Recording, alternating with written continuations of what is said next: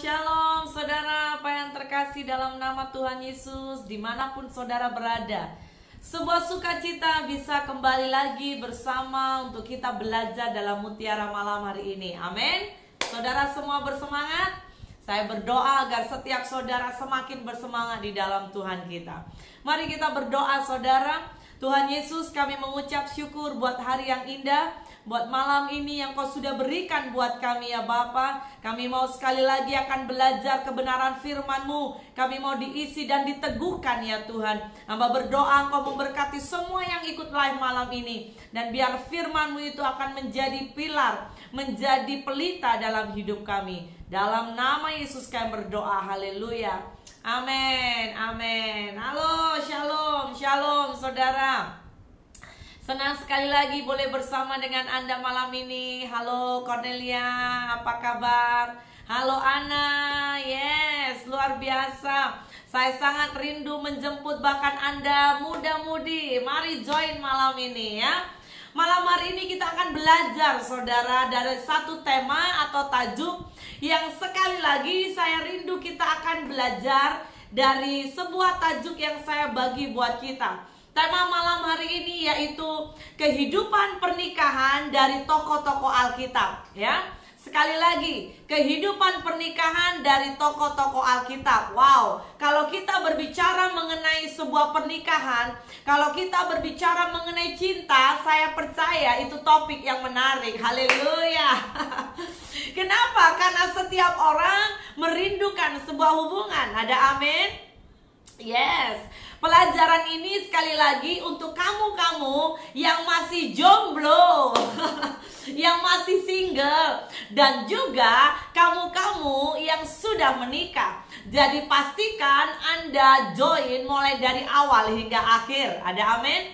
Sekali lagi saudara, Mari persiapkan hatimu, mari persiapkan juga note atau catatanmu untuk kita akan belajar supaya apa yang kau pelajari malam ini Anda tidak mudah lupa ya. Jadi malam ini saya akan bawa kepada setiap kita tokoh-tokoh di dalam Alkitab. Saya ambil ada beberapa bahagian untuk kita akan belajar. Yang pertama, kita akan belajar dari seorang pasangan atau pasangan yang bernama Ishak dan Ribka. Siapakah yang tidak tahu orang yang bernama Ishak dan Ribka? Saya percaya ini adalah pasangan yang sangat-sangat diketahui banyak orang. Ribka adalah seorang perempuan yang berasal dari suku yang sama dengan Abraham. Dia dipilih oleh hamba Abraham Ya, sekali lagi hambanya itu adalah Eliezer dan waktu dia dipilih Waktu itu dia dipilih oleh karena hamba Abraham menjadikan atau mencari istri untuk anak Abraham ya.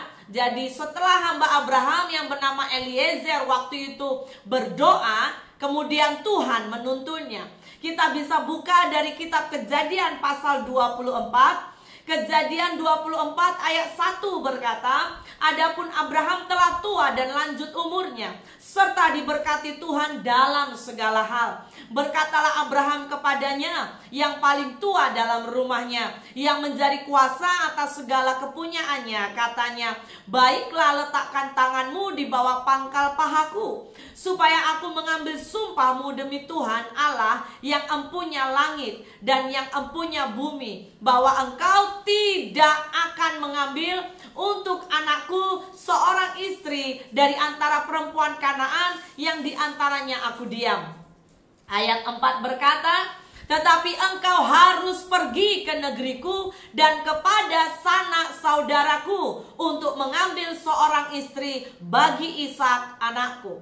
Saudara di sini kita bisa lihat ada beberapa prinsip penting yang saya sangat rindu Anda khususnya yang masih single ya. Bahkan juga pelajaran atau semacam rema untuk Anda yang sudah menikah ya. Untuk Anda boleh berpesan kepada anak-anakmu kita pelajari dari hidup pernikahan Ribka dan Ishak yaitu yang pertama sangatlah penting bahwa dalam sebuah pasangan itu harus seimbang. Ada amin saudara?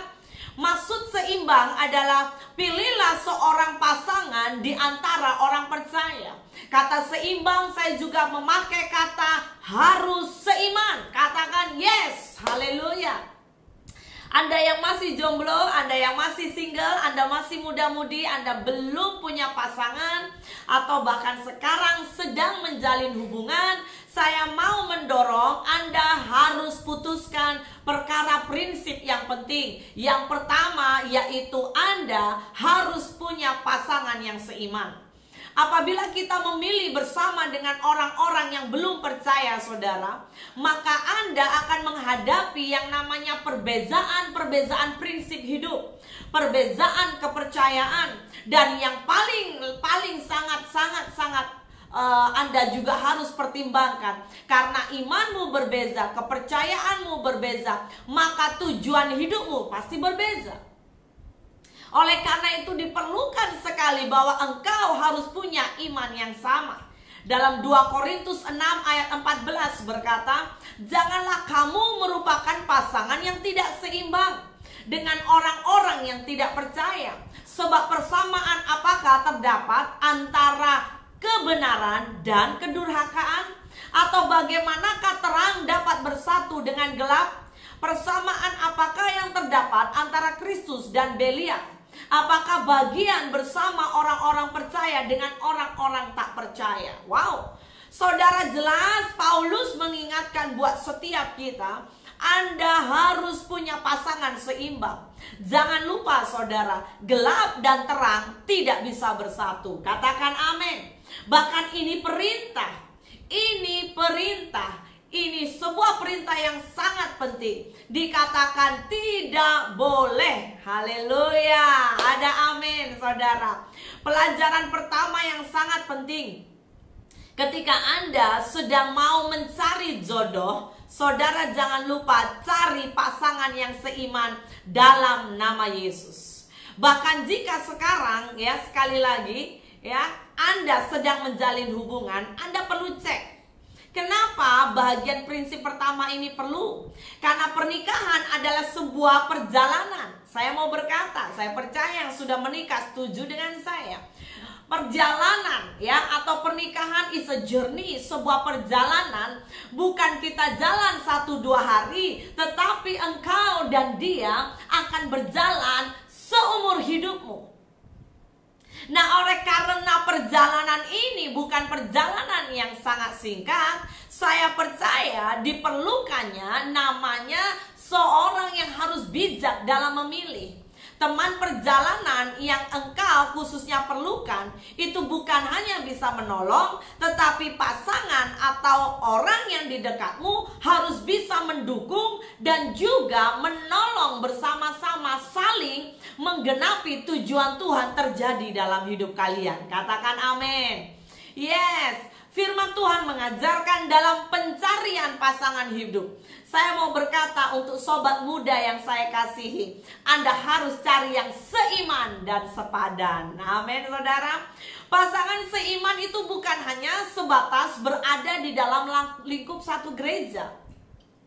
Namun lebih dari itu, orang yang seiman adalah orang yang harus punya buah pertobatan, hati yang sungguh-sungguh mengasihi Tuhan dan taat atas perintahnya.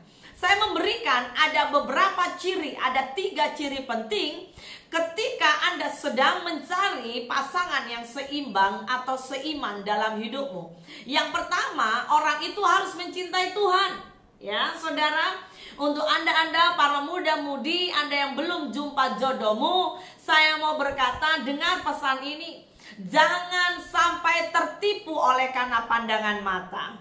Anda harus cari orang yang mencintai firman Tuhan. Katakan amin. Kamu itu akan bisa melihat dari body language-nya. Bagaimana saat dia mendengarkan firman. Apakah dia sungguh-sungguh mendengarkan firman. Atau ketika dia mendengarkan firman sambil bermain games atau dia chatting ya ataukah dia sedang uh, balas account dia dia buka semua account dan dia tidak menghormati Tuhan saya mau berkata hati-hati dengan mental orang seperti ini Yang kedua, bagaimana bisa melihat apakah ciri orang yang bisa kita pilih seiman? Dia harus orang yang membenci dosa. Katakan amin. Yes. Jika engkau adalah orang-orang yang punya sebuah target yang sangat engkau rindukan orang itu takut Tuhan, maka carilah orang yang membenci dosa. Perhatikan prinsip hidupnya. Apakah dia adalah orang yang suka taat perintah Tuhan dan juga orang yang bisa menjaga kekudusan? Atau dia orang yang cincai? Saya mau berkata saudara, ya izinkan saya share dari hati saya. Kecenderungan yang terjadi ketika seseorang pribadi ya mungkin perempuan atau lelaki tapi seorang itu hidupnya cincai pasti dia cari orang yang cincai. Tetapi saya mau berkata buat anda yang join live malam ini saya yakin engkau bukan orang yang cincai. Katakan amin. Oleh karena itu carilah orang yang benar-benar membenci dosa yang ketiga, sangat perlu sekali ketika Anda juga harus cari ciri yang ketiga. Apa itu? Ciri ketiga adalah pribadi atau orang itu yang mau bertumbuh dalam iman. Saudara saya mendorong cari orang seperti ini. Dia bukan orang yang biasa saja atau yang ya sudahlah Kristen biasa cukup. Saudara saya mau berkata, your marriage, pernikahanmu adalah sebuah jernih, sebuah perjalanan. Apakah engkau mau hidup berjalan dengan dia Ataukah engkau hidup mau lebih lagi dipakai Tuhan? Jadi hal ini Anda harus lihat dari buah pertobatannya sehari-hari. Ada amin. Prinsip kedua, kita bisa belajar dari hidup Ribka dan juga Ishak. Dia adalah salah satu pasangan yang bahkan ditemukan oleh karena doa. Sekali lagi saya mau berkata, ini adalah pasangan dari sebuah hasil doa. Jadi ketika Anda sedang mencari jodoh pasangan hidup, saya mau berkata, betapa pentingnya Anda berdoa. Ada amin saudara? Memilih pasangan itu bukan seperti Anda mau cari kasut dekat uh, showroom apa namanya supermarket ya. Bukan Anda cari baju dekat kabel. Oh, tidak semudah itu. Kenapa? Karena engkau harus dihidup dengan dia seumur hidupmu. Oleh karena itu kau harus doa. Bahkan saya mau berkata sambil berpuasa. Jangan lupa saudara, Jangan ikuti sebuah kebiasaan orang ya yaitu apa? Oh, cukuplah jatuh cinta karena pandangan pertama. Wow, saya mau berkata, saudara, orang seperti ini akan sangat-sangat banyak mengalami penyesalan. Kenapa? Cara berdoa atau kenapa berdoa dan berpuasa itu perlu? Karena Anda harus kenali kehendak Tuhan. Sebab kita manusia terbatas, Anda pun terbatas. Tetapi ada pribadi yang tak terbatas, yaitu mata Tuhan. Tuhan bisa melihat siapa yang terbaik untuk engkau. Katakan amin. Haleluya. Oleh karena itu jangan sampai salah pilih pasangan saudara ya. Prinsip ketiga, dari Ribka dan Isa kita bisa belajar bahwa cinta bukanlah hanya sebuah perasaan, tetapi cinta itu sebuah komitmen. Sekali lagi saya alu-alukan untuk semua yang masih jomblo dan single, termasuk yang sudah menikah bahwa cinta itu dibangun dalam pernikahan itu adalah cinta yang harus dikandungi atau memiliki isi dalam hal komitmen. Amin, saudara. Komitmen itu begitu penting dalam pernikahan. Cinta juga adalah sebuah keputusan. Ada amin? Meskipun Ishak dan Ribka belum bertemu, ya, tetapi mereka belum pernah bertemu, tetapi ketika mereka menikah, mereka saling mencintai seumur hidupnya. Ada amin? Padahal saudara saya mau bagi tahu, pada zaman itu sudahlah biasa ketika lelaki punya dua atau tiga atau lebih istri. Tetapi Ishak ini spesial. Dia habiskan hidupnya hanya dengan satu istri. Wow, katakan haleluya. Sekali lagi saya mau ingatkan buat kita, ya, Anda-anda yang masih single, Anda-anda yang mungkin hari ini ada boyfriend atau girlfriend ataupun Anda yang belum punya. Namun izinkan saya menitipkan pesan bahwa cinta itu komitmen. Cinta itu juga keputusan. Katakan amin. Cinta itu keputusan. Saya yakin yang sudah menikah pun setuju, ya. Keputusan untuk apa? Keputusan untuk bertahan di masa susah. Keputusan juga untuk tidak berpaling ke lain hati. Ingat semalam, itu keputusan saudara. Keputusan menerima dia Sekalipun dengar ini yang sudah menikah, sekalipun lepas menikah, kadang-kadang dari size Anda lelaki atau perempuan akan mengembang ke kanan dan ke kiri. Tetapi saya mau berkata, sebuah keputusan Anda harus terima pasanganmu apa adanya. Katakan amin. Haleluya. Yes, ya.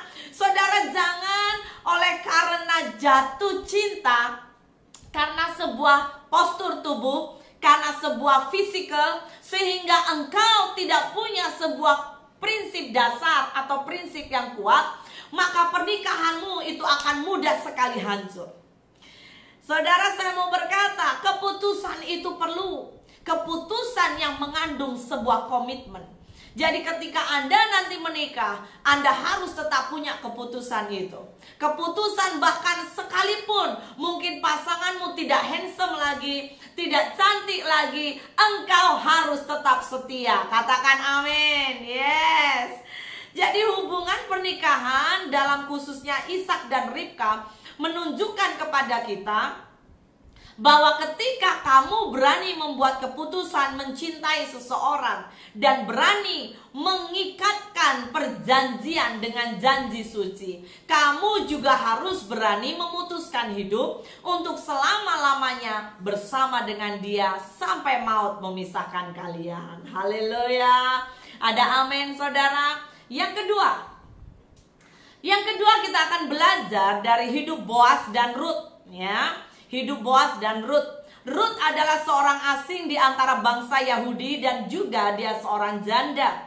Meskipun demikian, dia mengasihi ibu mertuanya Naomi. Ruth menasehati nasihat Naomi untuk mendekati Boas. Lalu seperti yang kita tahu pada akhirnya kisah Ruth, Boas dan Naomi berakhir dengan bahagia. Nah, prinsip apa yang kita bisa pelajari malam ini? Yang pertama kita boleh belajar dari hidup Boas dan Ruth adalah Allah tidak memandang rendah seseorang apa pun latar belakangnya. Sekali lagi saya mau berkata, Allah kita, Tuhan kita tidak memandang rendah apa pun latar belakangmu. Oleh karena itu, karena Tuhan tidak memandang rendah latar belakangmu, jadi jangan pandang rendah pasanganmu. Ada amin? Ini termasuk Anda yang sudah menikah saya mau berkata, jangan pandang rendah latar belakang atau background dari pasanganmu. Yang Allah pedulikan dan selalu Tuhan hargai itu hati kita. Ruth memilih untuk percaya kepada Allahnya Naomi. Sehingga apa saudara? Dengan begitu dia mengalami berkat yang ajaib. Yang kedua, dari hidup Boaz dan Naomi kita boleh belajar, maaf, Boaz dan Ruth ya. Kita bisa belajar bahwa dengan mendengar nasihat orang yang lebih dewasa, Anda akan dibuat bijak. Saya mau berkata kepada Anda muda-mudi, khususnya Anda-Anda yang sedang betul-betul rindu mendapatkan jodoh. Mari belajar dengar nasihat bapak ibumu. Dengar nasihat mentor rohanimu. Sebab Tuhan sering kali bisa pakai orang-orang ini untuk berbicara. Ada amin saudara? Pada hari itu juga khususnya si Ruth dia mendengar nasihat dari ibu mertuanya ya dan sehingga Ruth juga mengalami berkat Tuhan yang ajaib ya sekali lagi saya bahkan bersyukur dan saya bersaksi saya punya orang tua yang takut akan Tuhan. Orang tua yang Tuhan berikan itu membimbing saya sampai saya bisa berjumpa dengan jodoh sorgawi saya. Tetapi di sisi lain saya bersyukur ada orang tua-orang tua rohani di sekeliling saya, mereka-mereka juga yang Tuhan letakkan bahkan sebagai pelita untuk saya tidak membuat keputusan yang salah. Sekarang malam ini saya bertanya, hai Anda muda-mudi, adakah engkau sampai hari ini punya orang tua rohani? Adakah engkau punya juga orang tua atau eh, mentor-mentor uh, rohani di sekelilingmu? Adakah engkau orang yang sangat terbuka dengan mereka? Adakah engkau orang yang open minded, open heart sehingga engkau mudah mendengar nasihat, Anda mudah ditegur, Anda mudah dibimbing. Sebab apa saudara? Kenapa itu perlu? Karena ketika kita atau setiap Anda orang muda, ketika Anda sedang mencari ya, kalau saya mau pakai bahasa, sedang mengalami sebuah the adventures ya, Anda melewati yang namanya sebuah pengalaman berpetualang, cinta, petualangan cinta. Ada banyak hal di antara saudara, Anda belum bisa mengenal seseorang itu dengan benar. Ditambah ketika Anda itu dimabuk cinta. Haleluya. Seringkali engkau melihat hidupnya, kehidupannya sekalipun maaf kata kurang baik, tapi di matamu karena engkau dipenuhi dengan cinta, engkau melihat dia semua serba baik. Nah, persoalannya adalah ketika Anda tidak tahu keaslian atau original seseorang dan engkau tertipu oleh hal itu, Anda masuk dalam pernikahan dan Anda begitu shock. Anda begitu kecewa. Anda tidak menyadari bahwa maaf kata sepertinya Anda ditipu. Oleh karena itu saya bahkan mendorong ada banyak orang-orang muda yang menurut saya dekat dengan saya, saya selalu share kalau saya berani atau saya itu cukup open karena saya sangat mengasihani hubungan mereka. Saya berkata bahwa kalian harus ada mentor. Kalian harus punya orang tua-orang tua rohani yang akan bisa mengcover hidup kalian agar kalian berjalan pada jalan yang benar. Ada amin saudara? Jadi penting sekali ya. Saudara, hatimu benar, kalau engkau punya kerendahan hati dan hati yang benar, saya yakin Tuhan akan tuntun engkau berjumpa dengan jodohmu sorgawimu. Amin saudara. Yang penting dengar orang muda, yang penting Anda itu tidak boleh merasa sok. Apa itu pastor? Sok tahu, sok pandai, kemudian Anda tidak mau mendengar nasihat orang tua. Ya, nanti Anda akan kecewa. Yang ketiga, kita akan belajar Prinsip apa yang kita bisa pelajari? Yang ketiga yaitu apa? Tidak selalu perempuan harus menunggu laki-laki untuk memolakan hubungan. Wah, mungkin ada di antara saudara yang komen, "Wah, I like this, I like this." Saya mau berkata, saudara, ya. Ada ada beberapa bagian di mana ketika Anda belajar kisah hidup Ruth, ini spesial Hari itu Naomi berkata kepada Ruth, "Dekatilah Boas, karena dialah yang akan meneruskan warismu." Dan saudara Ruth begitu sangat taatkan sekalipun saya yakin Ruth itu punya rasa malu. Tetapi dari sini saya boleh melihat bahwa terkadang ya sekali lagi, terkadang Anda juga perlu punya sikap proaktif. Hai kaum perempuan, haleluya. Yes. Kadang-kadang perempuan Anda juga perlu memberikan tanda-tanda. Haleluya. Amin saudara. Yes. Ketika Anda berjumpa dengan mungkin seorang lelaki yang kurang aktif ya atau proaktif, tetapi Anda boleh lihat bahwa dia mencintaimu, Malam ini izinkan saya menitipkan sedikit pesan.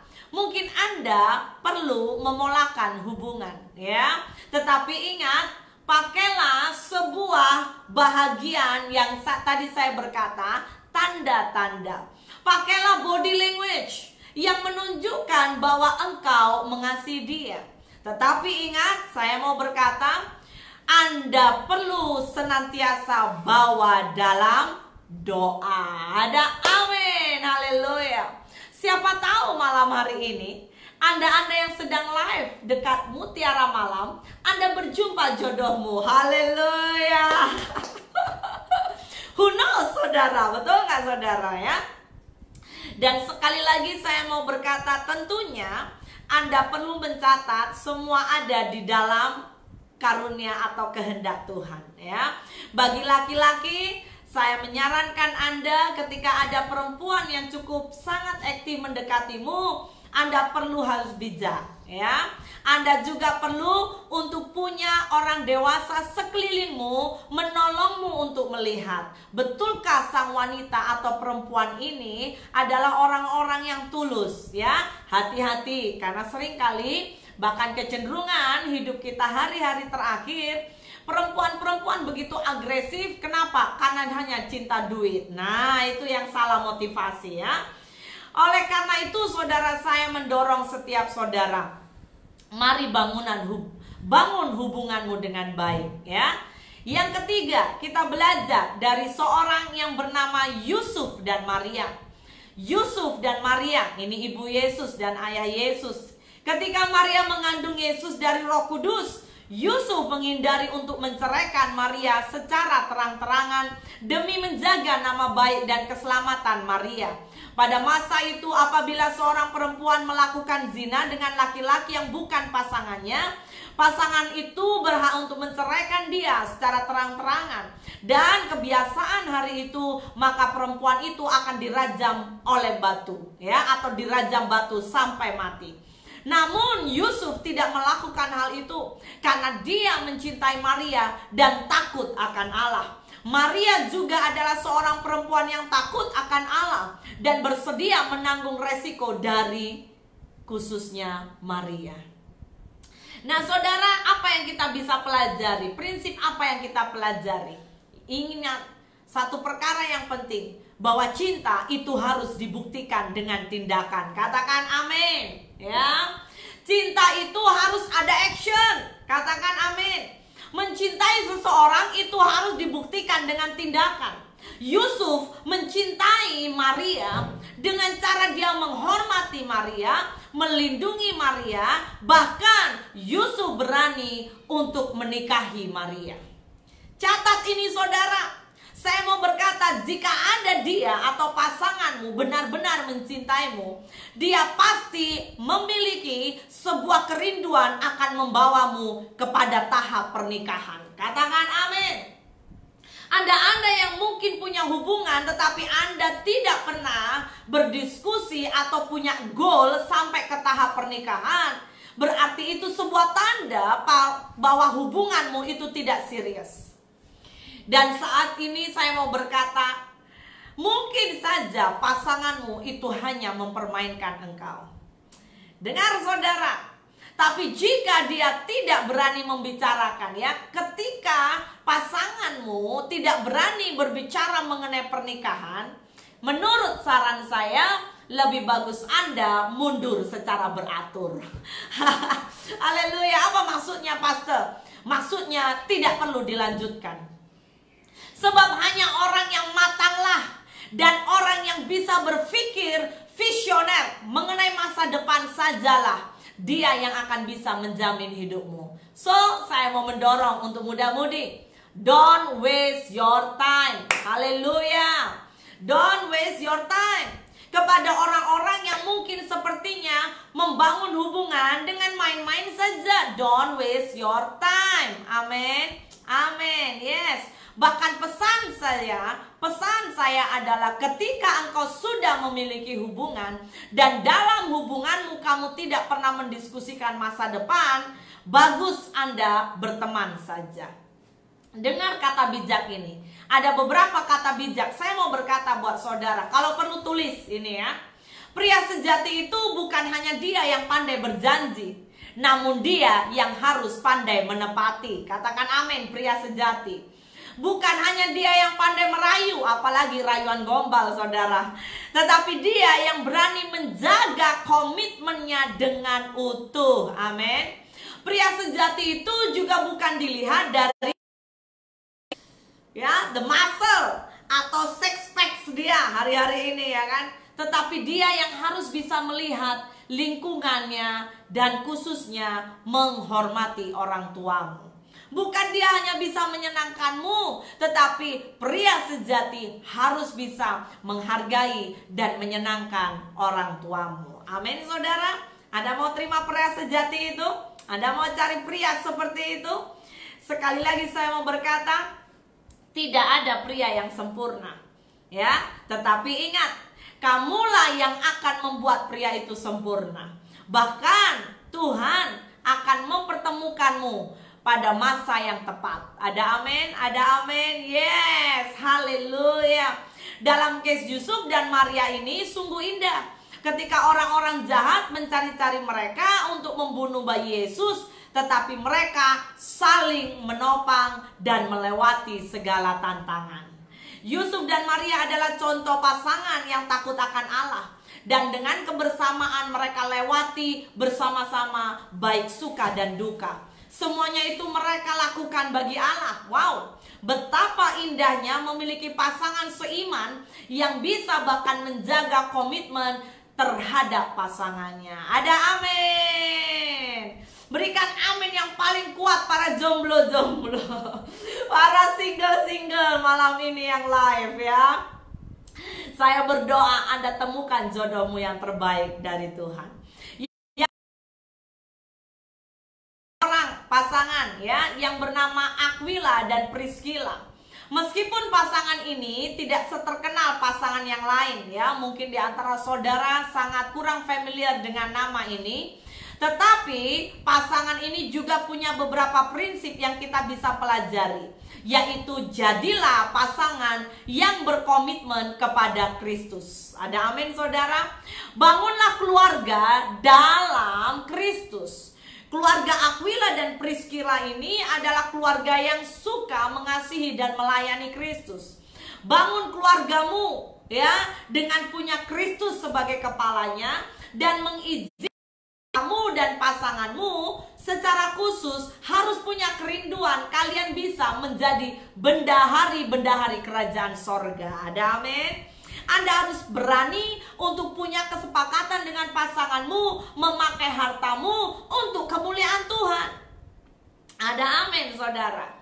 Meskipun sekali lagi Aquila dan Priscilla sibuk bekerja, mereka juga selalu dengan hangat tetapi mereka suka yang namanya pelayanan hospitality. Mereka suka menyambut pelayan-pelayan Allah. Ya, seperti Paulus, Apolos, Anda bisa lihat dalam kisah para rasul 18. Mereka juga suka membuka pintu pintu rumah mereka untuk dijadikan tempat-tempat pertemuan. Bahkan secara aktif mereka juga mengajar ya dan menyampaikan Injil kerajaan Allah. Saya yakin bahwa kerinduan Allah adalah ingin melihat keluarga-keluarga diselamatkan. Tetapi bukan hanya diselamatkan, tapi Anda-Anda juga harus bisa punya hati melayani Tuhan. Katakan amin saudara. Belajar punya hati, memberikan rumah kita, rumah saudara, dijadikan tempat pertemuan, ya jadi bukan hanya memberi uang saja Aquila Priscilla bahkan mereka memberi waktu memberi tenaga untuk kemuliaan Tuhan di sini kita bisa melihat sebuah pelayanan yang dilakukan oleh keluarga yang sederhana tetapi mereka belajar melakukan firman Tuhan. Ketika Alkitab berkata, "Kasihlah Tuhan Alamu dengan segenap hatimu, dengan segenap jiwamu, dan dengan segenap akal budimu." Amin. Saudara rindu belajar? Yes. Ya, Selain itu saya mau berkata dua lebih baik daripada satu. Selain dapat saling berbagi suka duka kehidupan, sebuah pasangan itu harus bisa saling mendoakan, sama-sama melayani Tuhan ya dan sama-sama memuliakan Tuhan. Saudara rindu punya sebuah keluarga seperti ini? Berdoa mulai hari ini. Amin. Seringkali saya melihat ada gambaran ya yang saya temukan bahwa suami atau istri ya salah satu pasangan itu mereka sangat bersemangat untuk melayani Allah. Tetapi, tetapi ya secara jujur saya juga bisa melihat adanya ketidakseimbangan. Adalah satu seorang yang mereka tidak mau melayani. Ya, jadi saya berdoa Anda-anda yang ikut live malam hari ini Kiranya Anda menemukan pasangan yang benar-benar sepadan dari Tuhan. Orang-orang yang benar-benar dia rindu bergandeng tangan bersama engkau untuk menggenapkan rencana Tuhan dalam hidupmu. Wow, sungguh indah. Amin, saudara. Sungguh indah. Kalau Anda menemukan pasangan seperti ini, saya yakin, saya yakin hidupmu bukan sekedar hidup saja. Ada amin? Pernikahanmu bukan hanya sekedar menikah saja, tetapi kalian akan memakai pernikahanmu untuk menggenapi rancangan Tuhan. Yang kelima, kita akan belajar dari tokoh yang bernama Zakaria dan Elizabeth. Menurut Lukas pasal 1, Zakaria dan Elizabeth adalah pasangan yang sangat setia melayani Allah. Meskipun mereka di usia lanjut. Bahkan secara khusus kisah ini adalah ketika Zakaria menjabat sebagai imam. Dan hari itu mereka menanti-nantikan seorang anak. Tetapi keajaiban Tuhan terjadi sehingga datanglah malaikat Allah kepadanya dan memberitahukannya bahwa doanya sudah dijawab. Allah akan mengaruniakannya seorang anak. Apa yang kita pelajari? Sebagai khususnya Anda yang sudah menikah atau Anda yang belum menikah, pegang ini dalam hidupmu. Menjadi pasangan itu harus bukan hanya unity dalam hal uh, apa namanya mungkin makan bersama, enjoy bersama. Tetapi Anda juga harus punya unity dalam apa? Setia berdoa. Anda harus ada unity dalam hal apa? Sabar menunggu waktu Tuhan. Anda harus punya yang namanya unity menunggu jawaban doa. Katakan amin. Haleluya. Belajarlah menjadi pasangan ya, suami dan istri atau nanti ya Anda-anda yang masih uh, masih muda anda akan masuk pernikahan, belajar punya kerinduan, berserah penuh. Belajar punya berserah penuh kepada kehendak Tuhan. Belajar punya kerendahan hati. Sebab dengan adanya proses, maka engkau dan pasanganmu, saya mau berkata, anda akan punya ikatan roh. Saya mau berkata kepada Anda yang sudah menikah atau yang belum menikah. Sebuah pernikahan yang solid adalah ketika pernikahan memiliki sebuah kesatuan dalam tingkat roh. Ada amin saudara? Ketika engkau punya roh yang bersatu, engkau punya roh yang unity, maka jiwamu, maka tubuhmu akan unity. Ada amin. Ada amin. Haleluya. Dengar ini saudara. Jangan menikah hanya sekedar menikah. Tapi engkau harus bisa menyelesaikan atau menggenapi rencana Tuhan dalam pernikahanmu. Allah akan mendengar doa-doa kita. Namun Allah juga akan menjawabnya sesuai kehendaknya. Tapi dalam kisah ini kita belajar, ya kita belajar saudara Mari kita lihat juga bahwa Zakaria dengan Elizabeth juga punya kelemahan. Saat mereka mendengar itu jawaban dari Tuhan, Zakaria begitu terkejut. Bahkan hari itu malaikat membuat dia bisu. Tidak bisa berbicara pada masa di mana Elizabeth mengandung. Kenapa? Karena saya yakin bahwa Zakaria hampir tidak bisa percaya. Di masa mereka tua, kenapa bisa dapat anak? Dan saudara saya mau berkata, Elizabeth bahkan juga takut menceritakan kepada orang lain. Karena apa yang mereka alami itu amazing. Seperti kejadian Abraham dan Sarah. Namun saya mau berkata, meskipun mereka juga punya kelemahan, tapi itu tidak menjadi hambatan bagi Allah untuk memakai mereka menggenapi rencananya. Yang penting jaga hati. Saya mau berkata bagi setiap saudara di mana pun engkau yang ikut live malam hari ini. Saya tidak tahu apa pergumulanmu.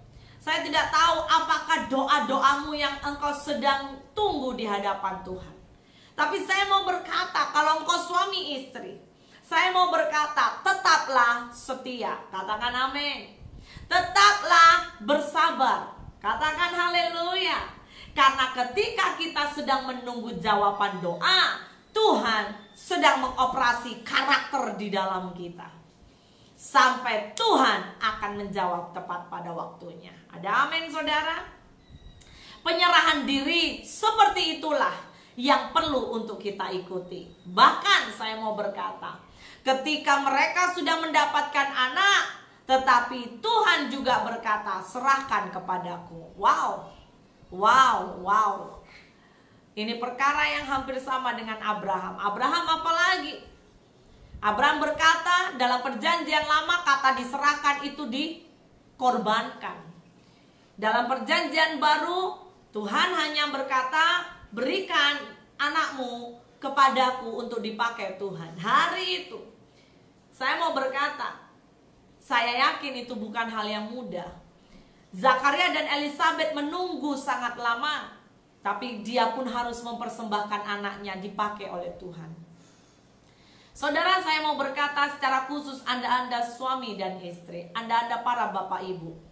Izinkan saya berkata sesuatu yang mungkin malam ini menyentuh hatimu. Mari belajar punya sebuah penyerahan diri kepada semua rencana Tuhan dalam hidup anak-anakmu. Ada amin?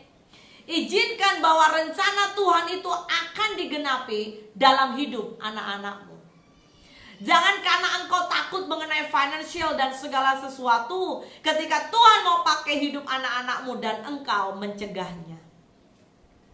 Saya berkata malam hari ini, mari belajar. Bahkan Anda muda-mudi, saya juga mau mendorong, jangan pernah takut. Jangan takut ikut rancangan Tuhan.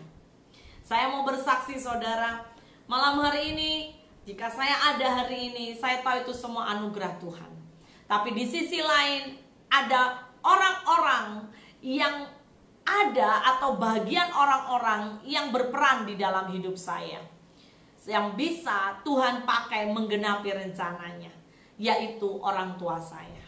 Saya bersyukur memiliki orang tua yang takut oleh Tuhan, Bahkan orang tua yang bisa memahami bahwa Tuhan memanggil hidup saya. Sebagai orang tua saya pribadi sekarang boleh merasakan it's no easy. Ya, it's no easy, bukan perkara yang senang ketika kita melihat anak kita menderita secara manusia. Tetapi saya bersyukur, saya bersyukur bahwa hari itu Bapak dan Ibu saya melepaskan saya untuk saya menggenapi rencana Tuhan dalam hidup saya. Saudara yang terkasih, saya mau bertanya buat setiap saudara. Mampukah Anda Bapak dan Ibu ketika engkau mendengar suara Tuhan, engkau melepaskan anak-anakmu untuk dipakai Tuhan dengan ajaib? Bahkan Anda muda-mudi, saya bahkan mau bertanya, adakah engkau juga rela Adakah engkau willing? Apakah engkau mau menggenapkan rencana Tuhan dalam hidupmu? Haleluya, haleluya. Bahkan ketika di antara saudara yang mungkin sekarang punya hubungan boyfriend atau girlfriend. Dan ketika engkau dengar pasanganmu mendapat panggilan khusus. Adakah engkau tetap setia? Dan biarlah mutiara malam hari ini akan menjadi sebuah perenungan buat kita. Ada amin saudara? Saya tutup perenungan mutiara malam hari ini. Kita akan mendengar satu lagu ya dan saya mau saudara coba guess terka lagu apakah ini? Yes. Di antara saudara yang mungkin sudah familiar Anda pasti tahu ini lagu berbicara mengenai tulang rusuk. Kita nyanyikan sama-sama ya, saudara. Terima kasih ku ucapkan padamu. Atas dia yang kau berikan padaku sekian lamanya ku berdoa menunggu menanti nanti janjimu Tuhan. Kalau kau duduk bersama dengan suami istrimu mari bergandengan tangan. Haleluya terima kasih ku ucapkan padamu atas dia yang kau berikan padaku.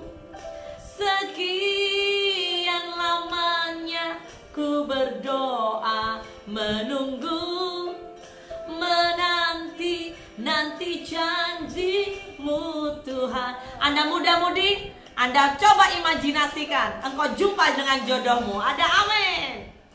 Tulang rusuk yang ku nantikan. Amin Haleluya. Kini ku dapat mendampingimu Haleluya. Tulang rusuk yang aku nantikan Katakan sama-sama. Kini kau telah jadi penolongku. Amin. Kita berdua menjadi satu. Dalam kasihnya Menjadi satu. Kita berdua menjadi Amin. Melayani Tuhan selama-lamanya. Haleluya. Saya berdoa Biar setiap saudara yang ikut live malam ini Anda yang masih jomblo Anda masih single Anda dapatkan jodoh sorgawi dalam hidupmu. Haleluya.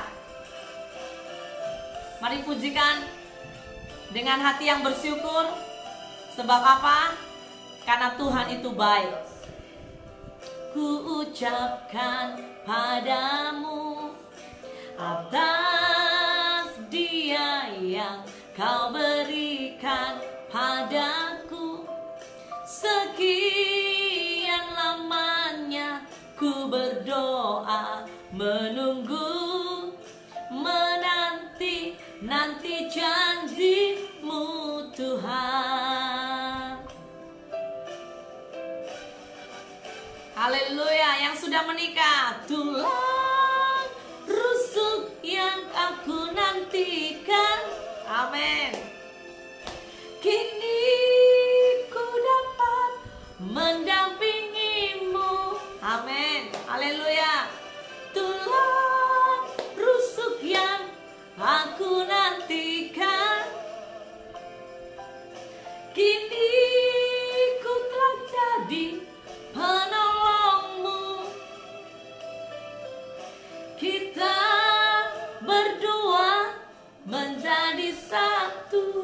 Amin. Dalam kasihnya menjadi satu. Kita berdua menjadi satu. Melayani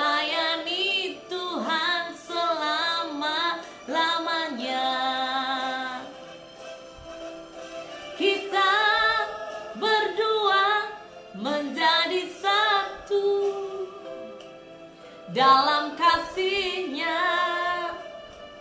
menjadi satu.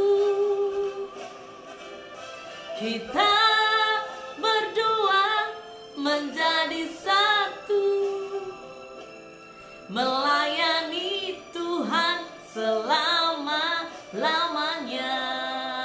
Haleluya, amin, amin. Mari kita berdoa Biar anugerah, damai sejahtera, cinta kasih yang dari Tuhan turun atas semua yang sudah berkeluarga, yang sudah join live malam ini. Dan hamba berdoa bagi setiap pasangan muda-mudi Tuhan. Mereka-mereka yang masih single, yang sedang berjalan mencari jodoh mereka. Hamba berdoa biar mereka mendapat pewahyuan yang dari Engkau malam ini. Dan kami tidur di dalam damai sejahtera Allah. Karena kami tahu Tuhan, Engkau istimewa. Esok bangunkan kami Tuhan dalam ibadah kami Tuhan. Biar kami punya roh yang baru, punya hati yang baru, punya cinta yang baru kepada Engkau. Dalam nama Yesus hamba berdoa. Haleluya. Amin. Amin. Amin. God bless you.